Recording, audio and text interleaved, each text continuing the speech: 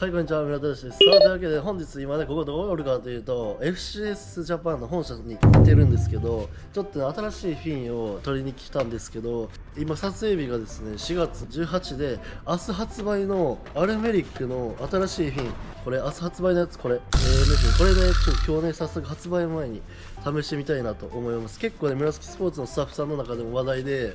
どうなんやろうって言ってね、嵐まだ試してないんって結構ね、聞かれたので、今日ね、あのマジ本音レビューということで実際につけてサーフィンの練習していきたいなと思います。あとさ一個今回面白いなって僕が思ったのは、はい。そのあの AM のフィン普通今さみんななんとかコアとかや柔らかくて硬いいや柔らかいっていうか軽めが多いのに、はい。それ硬めの重めって言ったから今までと逆だよね。逆ね。だからどういう感じでそれがもしかするとこれから流行るのかもしれんからぜひ先にレビューいいんじゃないですか？ね。ちょうど出る頃発売日の頃だから。そうやん。あのもうすぐね発売して紫に並ぶと思うのでぜひ皆さんねあの最後まで見ていってください。あとはね H4 フィンあるじゃないですか高級フィン、はい。あれいまだに発売日からもう一生人気すぎてほぼ在庫なしらし。い特にクワットがないんですよね、うん。僕クワットつけて、はい。やりたいんですけど、まあ、この前の前ぐらいで僕いっぺん海入ったんですけどあの3ヶ月サボったおかげで全く乗れんくで落ち込んでこれからね順番に週に12そうや回だから絶対月1ぐらいではやっとかんとパドルが落ちちゃうってことですよはい。ね、そんな感じで。まあ、だからちょっと悔しくて半泣きだったのであの週1ぐらいで海入ってね取り戻すのでまた H フォーフィンつけてね、はい。やっていきたいと思います、ね。はい、そんな感じ。今日はですね新しいフィンを試していこうの回ということでいきましょう。か行きましょう。はいというわけでね早速着替えたんでやっていきたいんですけどまあ今までねもう使ってきたのがこちらのところのねところのフィン。これが本当にどんな波でもオールラウンドで調子よくてもうこれ以外使えんなってくらい調子よくてはい。今も使ってるんですけどまあ明日からねいよいよ新作が発売ということでもうみんなが気になってて話題なんでさすがに僕もねこればっか使っとれんなということでまずはこちらのねアルメリックのこれ。結構の形もシャープであのーこのフィン使うときはあの、えっと、結構パンチのあったりパンチのある波あったり若干波があるとき小波っていうよりかは若干今日みたいにねパンチがある波の方がいいみたいですね。かなりシャープに削られててあのドライブ性もあってスピードも出る。とにかくスピードが速いらしい。これがちょっとあの今日ね超気になるピン。そしてもう1本やりたいなということでこのミック・ファニングの新しいフィンで、はい、こちらは結構ねあのー話聞いた感じによるとドライブ重視っぽいんよ。な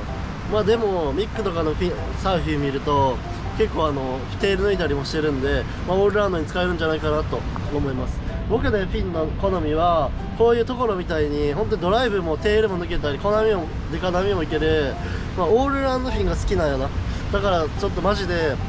そのなんていうな。フィンの好みももちろんあるからその自分なりにねあの今日はレビューできたらいいなということでまずはこちらの AM フィン明日発売のやつでこちらでまずはやっていきたいと思います。結構ね波もあって頭オーバーぐらいあるんであのフィンこのフィンを使うには最適な波だと思っとるんで早速ねやっていきたいと思います。ガチ本音レビューということでまずは AM フィンでやっていきます。行きましょう。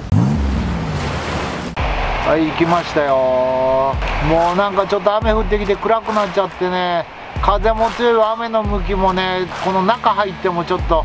雨が降り込んでくるってことで大変なコンディションです。波もねこんな感じでかなりジャンクですね。厳しいですこんな感じでね波はかなりねジャンクなんですよね。サイズがどんどん上がってね結構沖にはカレントがあるんですよ。めっちゃ大変ずっとパドルして。はい行きます。行きましたよ。ワンタン入ってクイックに入りましたね。あーこれなんか気に入りそうな今た抜け方だった気がしますね。これか。やべえ見つけれんとこだった。ワンタンあーっと無理だ。波がかぶさっちゃってね天気が悪くて見づらいですね。ちょっと見失いそうになります。ちょっとコンディションがね撮影のコンディションも雨がすごくて前からかかってくるんですよね。ちょっと厳しいな。サーフィンのコンディションもねこれ波相当難しいんですけど撮影する側もね雨の向きがオンシア気味に斜めに入ってくるとレンズに当たるんですよね。でパドルしていけるのかな？高い位置から立ってワンタン入れる。いいんじゃないですか？でここでカーブ入れて。であーっとヒットしてない。今のねできたような気もするんですけどね。できないっていう判断だったんでしょうね。あ女子の人もねチャージしてますよこれ。ガールズサーファー結構います。パドルしてレフト。うわあっと決めれないか。あ行きました。ちょっと惚れてくるとこまっすぐボトムターンしてカーブ入れた。でもう一発。あいいんじゃ前に。あ出たら最高だったのに出れない。フィンはね良さそうですね。カーブのフィーリングが見た感じいいと思います。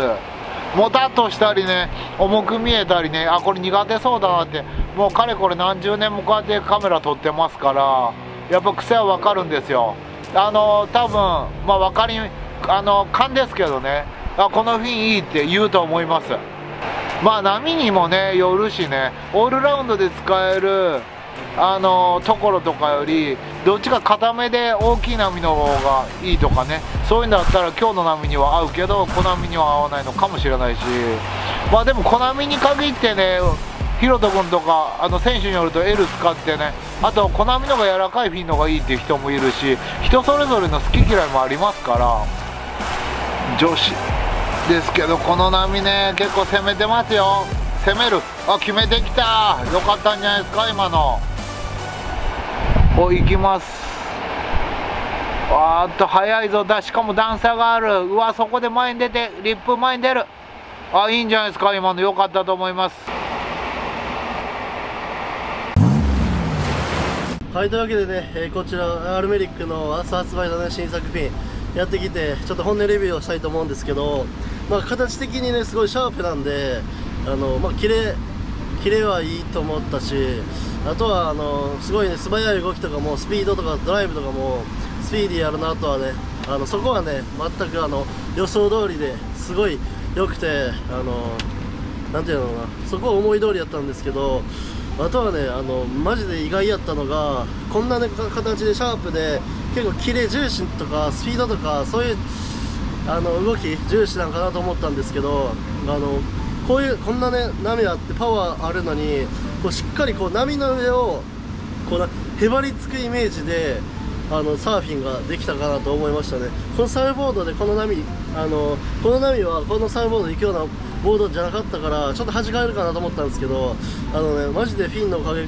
でこうなんていうの普通やったらちょっと滑ってしまうとこをこうしっかりこう波の上にあのへばりついたんちゃうかってぐらいのこううおーっていうねあの動きができたんでいやびっくりしましたね。はい。まあ2年間ぐらいなんで2年間ぐらい一生あのこのところのフィンを使ってたんでいきなりねこれに変えたからよりねあの違いが分かる分かったんですけどいやすごいへばりつきで結構ねあの普通のちょっとボテ浮力のあるあのなんていうのおとんおとん世代の方が乗りそうなボードにつけてもあのたるい波とかでもしっかりへばりついてくれるから足腰が弱かったとしてもしっかりねあの滑ったりすることないんでそういうとこではねあのすごいいいなと思思いましたよね。でも逆にそのへばりつきがその滑らないっていう意味ではすごいいい意味なんですけど逆にね悪い意味は悪い意味で言ってしまうとそのへばりへばりつきがマジでいいからちょっとしたなんていうのあのなんていうのチェックターンチェックターンというかこう勢いというかこのなんていうの準備する段階で若干こうちょっと難しい説明マジむずいんやけどまあ大人世代の方はねそんなややらんからさ大丈夫なんやけどちょっとしたチェックターンやったりするときにちょっともたつくかなとか思ったんやけど逆にそういうチェックターンとかねあの必要ないんでこのフィンつけとつけてずっと練習したらそういうねあのしょぼい動きとかがなくなりそうなんでいやいいなと思いましたね。はいえちょっと硬さは？硬硬いって言ったけど気にならない？硬さ？全硬いら然しいけど。全然気にならんっすね。ならいいですね。でしかもなんか ACS の人が言っとったけど重くなったみたいでそれはね1本目からちょっと若干感じたかな。まあところのフィンと比べてねあのーちょっとなんていうの結構2トーンっすよね。2トーンやけどまあ違うっていうとこがまあフィンはね本当何何種類何百種類とかあってそのサーフボードより分かりにくいギアやと思うんですけどまあでも車でいうねタイヤみたいなもんなんであの絶対にねあの真剣に選んだ方がいいなと思うし、まあ、デザインだけで選ぶ方ももちろんありだと思うんですけどこういうね新作のフィンも熱いなと思いました。ちょっと雨強くなってきたんでねこんな感じでちょっと明日またこのミックのフィン試します。そうしましょう。はいそんな感じで今日はとアルメリックだけっていうことでちょっとまたねあのやばいあのまた気に入っちゃってこればっか使ってもらうかもしれんす。まあでも AM って昔ねジュニアの頃っていうかボーイの頃結構使ってた。そうの赤いね古い3個前ぐらいのやつ、てかカメラマン的にどうでした？いやよかった。だ俺言ったもんカメラ。これ好きって言うわ。いやそうあのもう何十年もさカメラ背負ってずっと動き見とるから嫌いっていうヒントなんとなく抜け方とヒットの仕方で分かるんだよ。軽くトップでヒットしやすい感じのターンしとったからバンと何丸いパシンとこうピンアウトするような抜け方がところもそうなんだけど AM もそうなんだけどあのあ動きこれ好きだなってずっと解説してて聞いてみましょうっつって。ただ重たくなったのと硬くなったのがどういう感じになるのか。ただ硬くなったのは体重も増えたしパワーもついたから問題ないとは思ったんだけどね、はい、まあでも重さは正直あるんですよね、まあ、だけどそこを重さをよりねあの逆によくいい風に使ってあげればいいと思います。あの例えばタイヤねあのゴツゴツにしたしてあのゴツゴツにしたからこそ、えっと、砂浜走ってしまうとかね。バリがね。だからでも重くしたイコールこんだけのハイテクの時間に時代にわざと重くしたというのは多分いいことがあるから重くしてるわけいじゃんやそうっすよね。ドライブ性やったり多分。こう無駄に軽いとさまあもちろん軽いのがさすごいサーフボードとかでも今すごい流行ってますけど、まあでも面白いですよね。新しくなんか逆にフロックじゃなくて重さをつけてきたみたいな。そうだからそこも面白いなと。いや結構ね自分フィンのこと本当になんていうの音より詳しくないぐらいの男なんですプロサーファーなんですけどこのねあの AM のフィンはうんかなりいいなとピカッときました。結構フィンの、ね、好き嫌い多いからこそこんなあのこのねところのフィンを2年間も一緒に使い続けてたっていうのもあるしこれのところの前は AM やったっけ？そうだから結局トリック系ができるフィンが好きだからどっちかじゃあ明日試すミックみたいなカービン系本当はさ好まないんだけどただ足腰が強くなったり体重が増えたり年齢が増して大人っぽくなったらそっちがいいなる可能性も変わるじゃん好みってそうですね。女子と一緒で、はい。えまあそんな感じで女子のセンスも変わるでしょ年取るとあのきらびやかな子が良かったら落ち着いた方がいいとか最後結婚する時は性格がいいとか、はいはい。そういうのも変わりますからね、まあまあ。やっぱり使ってて疲れんピンが一番いいんじゃないですか？まあ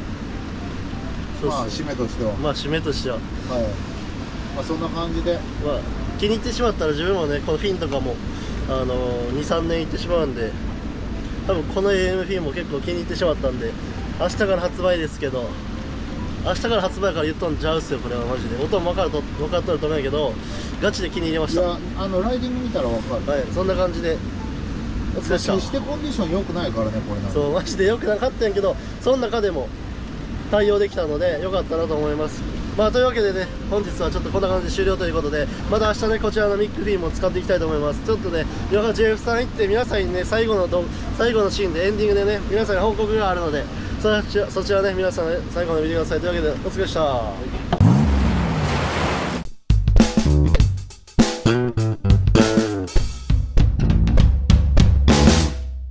はい、お疲れ様です。というわけでね、えー練習を終えてまして、JF さんに来たんですけども、ちょっと皆さんにね、最後報告ありまして、4月26日に、村スポーツ草津戦に、僕とおとんと西井浩二さんで、行って、で、メイヘムのオーダー会というのをやるんですけども、それの次の日、4月27日に、なんとですねその草津店から連続なんですけど4月6日にねつい最近オープンしたエキスポっていうね超どでかい日本最大級の、えー、村スポーツが完成したんですよ。あのスケートパークえぐいでかくてそこにね僕とおとんが27日に行くんですよ。でそしてなんとですねそこで超鬼でかいえースケートパークプラスあとサーフスケートができるところがあるんでそこに、えー僕がですねあのやるサーフスケート持ってって、えーなんとですねサーフスクールイベントやります。はい。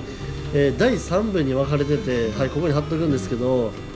えっと、ねデジエントリーみたいなやつなんだよね。はい、11時から12時、12時半から13時半、15時から4時、1時間ずつを3回やるんですよ。で、えー毎回5人ずつなんで、15人、えっと、枠があるんですけど、それをね、あの概要欄から予約も、この動画、今日からね、予約開始したんで、15人なんで多分すぐ埋まっちゃうかもしれないですね。3300円プラスパーク入場料って書いてあります。はい、ででサーフスケートを買い買ってくれた方はその日サーフスケートをやる買ってくれた方は無料でおおなるほど参加できます。はい。でその時にさらにねあのファントム。はい村田嵐グッズのファントムの T シャツも数量限定発売するんですよ。草津店もするしその次の日のエキスポもします。はいこれねちょっとあの特大イベントなんで楽しみにしとってください。えそれとねあの膝とね肩の調子がだんだん良くなってきたっていうことで僕もそれ防具つけてねスケート一緒に参加しようかなと思ってるので、マジ？うんうんまあそれはマネージャーにも前借りてて膝の調子が良かったらやりたいと、はい。まあそんな攻めないですよ。なんかオトンウェーブがあるらしいんですよ。はい。オトンウェーブコースがあって緩い R があるから結構イメージ出せるみたいで。あそうそう。スケボーに自信ない方でもフラットとかあと言っとったオトンウェイみたいな超なんか超緩いやつ。緩やかなとこで僕がねあのターンやったりボトムターンとかいろんなことをレッスンスクールするのでスケボーに自信ない方もプロテクターとかあるしあフラットの何もないところでやることも可能なんでぜひ。だってスケボー自信ないから僕ができるなら誰でもできるやろっていう感じでちょっとやってみようかなと思ってます、まあそれでねやっと膝と肩が治ってそこでまた大怪我したら死にますけどまあほどほどに怪我しん程度にやってみたいの一緒にやりましょう、そうですね。まああとエキスポ店にねうろちょろして僕はね、はい。い、ますからいろいろ声かけてもらってあと草津店もね3人でオーダー会長オーダーするだけじゃなくて店にもいますから、はいうろちょろしてますから、まああのそうです。26草津線27がエキスポ。はい。でイベントっちゃイベントですけど皆さんとね会えるの楽しみにしとるしぜひ来てほしいなと思っております、はいうろちょろ企画。大阪とかはねイベン大阪でなんかするとか初めてやから自分大阪ずっと行きてえなとか思っとったからちょっと嬉しいなとか思うっすね。はい。串カツとか食べてみたいんだよね。串カツと来た。大阪といえばやっぱたこ焼き？たこ焼きや焼きそばやったりああとはや焼肉とか。焼肉大阪かな？あの通天閣の串カツとかホルモンでしょいや焼きそばね音もやるったらびっくりっすね。ちょ俺だから膝の調子次第だけど、はい。まあやりたいなと。今の調子だとちょっとだってケリーのターンできたじゃん。うん。プッシュできんかったからさ。エキスポサーフバンク貸し切りさせてもさするんやって。まあもちろんでしょうだって。まあまあもちろんですね。だから他の人おらんってことやから5人で貸し切りできるんで。これはね他の人スケーターおると嫌やなと思ってる方はもう大丈夫です。あそうだここのねいつも僕らが使ってる JF パークもね午前中貸し切りで体育館みたいにヨガやったりスケート教室やったりね、使えるからぜひそういう場合は問い合わせしたらいいね。あのバード貸し切りって贅沢じゃない？贅沢。だって上手い人が上から降りてきたら下でなんかできやんじゃん。貸し切ればさ上手い人上から降りてこないから、うん。下のみでもでだから僕らもねそんなイベントやりたいなとここで思ってますのでね。ぜひ。コミュニティの方もまだまだ募集してますから入ってくださいそんな感じで。はいまあ、今回結構ね重大報告なんであの概要欄から応募できるみたいなんで応募簡単なんですよね多分。そのままパッとね応募できるとレジェンドルみたいだよね。はい、エントリーなんで15人しかないんですぐ埋まってもらう可能性もあると思うので早めにねお願いします。すと3分もあるやから大丈夫やなそうやでもでも3部門で15人しかないんやろ？はい。15人しかないからそれはすぐでしすぐ終わってしまいます。なのでぜひ来てほしいなと思います。まあそんな感じですね。ょお。お何知り合いの人も15時から16時予約したらしいですよ。おお。おマジで？はい素晴らしいじゃないですか。嬉しいですね。え4時までやるんだ。4時まではな仕事長いから僕は3時で上がらせてもらってもいいですか？なんで？最悪じゃないですか。あの串カツ食いに行きたいですから自分ねも食いに行きたいな。串カツはい。カスうどんも食いたいな。はいそんな感じで。終わりますか。終わりましょう。というわけで本日もありがとうございま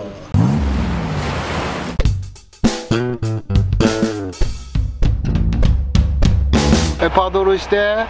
レフト。うわーっと決めれないかこれも、ね、今日もねちょっとあまり乗れない感じの波なのでね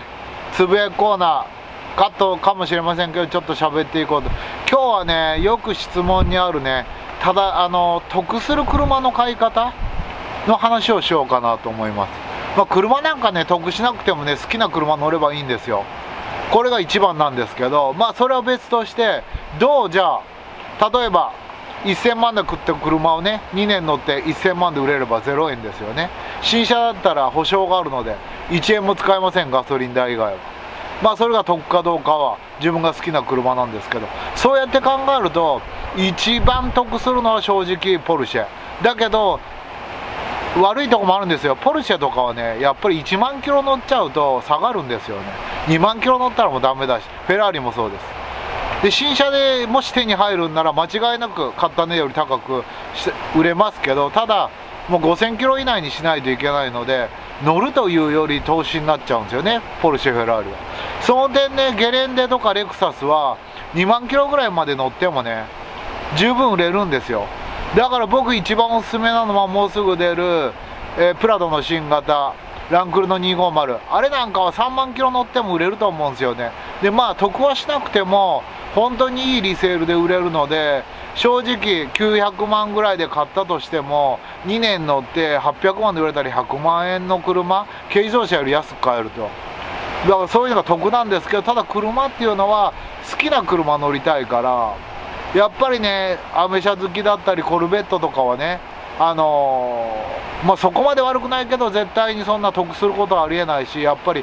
半値まではいかんでも60%ぐらいにはなってしまう。ディフェンダーとかで一時 90%100% だったんですけど今落ちてね70%でも70%でも1000万超えすると300万400万円はね下がっちゃう。でも変な日本車買うんだったら